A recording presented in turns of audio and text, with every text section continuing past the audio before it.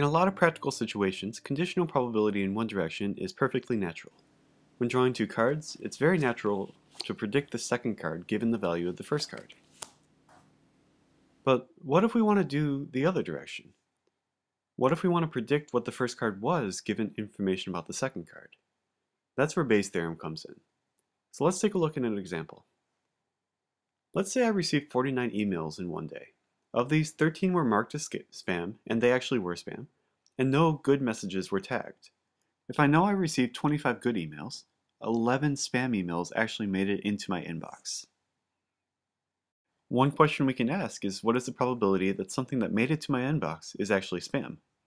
This is a natural direction. There are 36 messages in my inbox, 11 of them are spam, so the probability of spam, given that it's in my inbox, is just 11 out of 36. But what about something like this?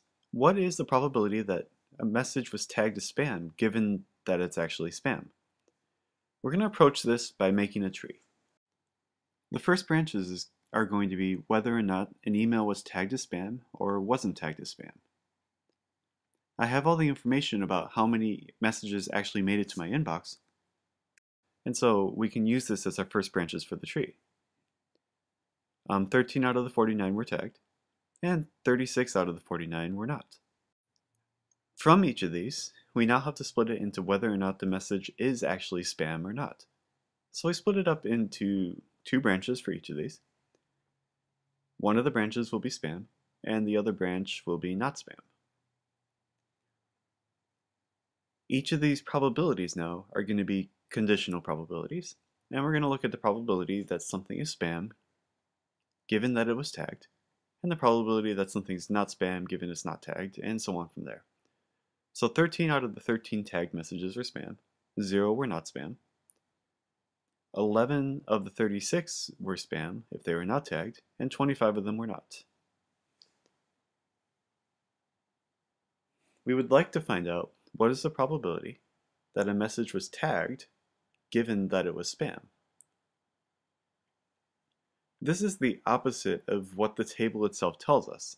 The tree will allow us to say what the probability something is spam given it was tagged was, but not the other way around.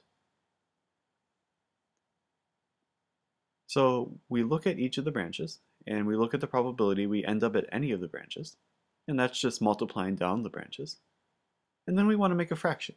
The fraction will have the event in the numerator, and what we consider the sample space in the denominator. So what is our sample space in this case? We're given that it's spam, so we're only going to look at the branches that end up in us having spam. That's these two branches right here. Out of these, the numerator is going to have to be the ones that I'm looking for, the ones that were tagged.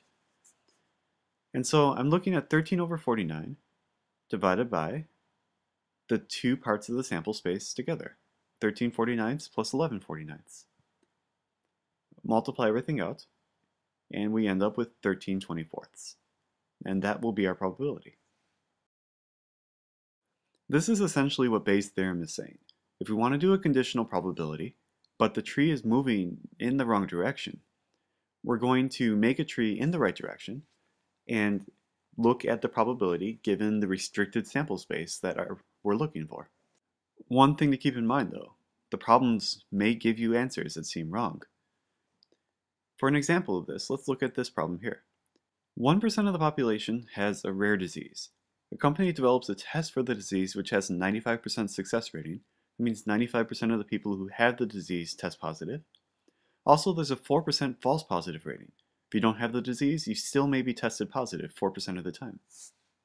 If you go to the doctor's office and you're tested positive for this disease, how likely is it that you actually have it? The two events we're working on here are you have the disease and you test positive. And we know what the probability of testing positive given you have the disease is. That's 95%. So what about the other direction?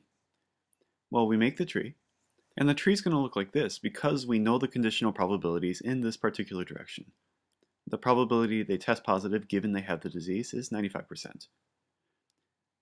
With this, we can actually look for the probability that we have the disease given that we test positive by using a similar type of argument as before.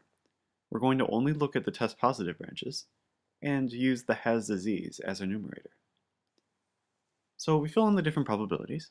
There's a 0.01 chance that we have the disease and a 0.99 chance we don't.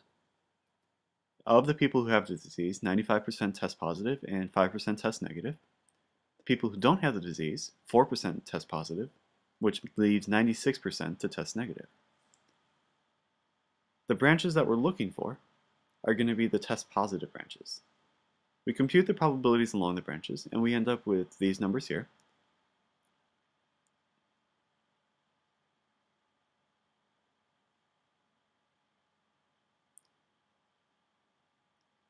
And you'll notice that most of the population fits in the doesn't have disease and test negative. 95% of everybody is in there. All the other populations are much smaller. We'll talk a little bit more about this in a second. So we're looking for has the disease, and we want to only look at the ones where we test positive, which are these two here.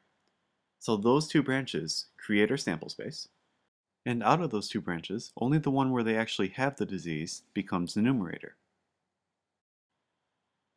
So we put everything together, we get 0.0095 as our numerator, and our denominator is 0.0396 plus 0.0095.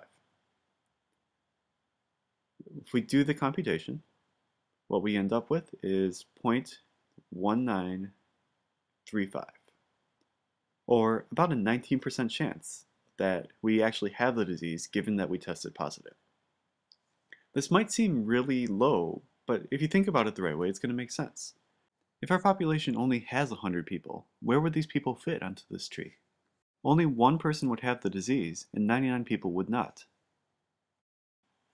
Looking at the percentages we got for the different branches, that means that one person will probably have tested positive, and no, none of them will test negative. Out of the 99, 4 will have tested positive, and 95 will have tested negative.